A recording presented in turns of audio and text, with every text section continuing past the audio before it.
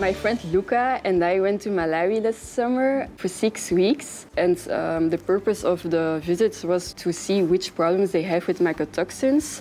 Uh, we went several times to a village with farmers.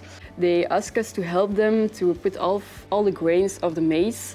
And we saw that it was like pink and white. So if you eat food with a lot of mycotoxins, you can get cancer of it. So it's very bad for your health.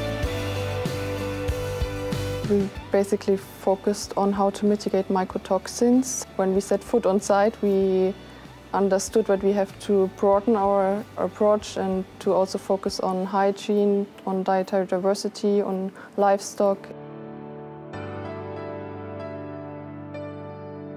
We started preparing our day uh, with the help of professors um, at the university.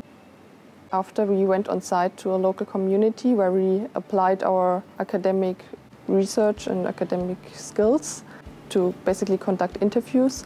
We got the chance to co-create with super different people on site. It was like a learning experience for both sides, I would say.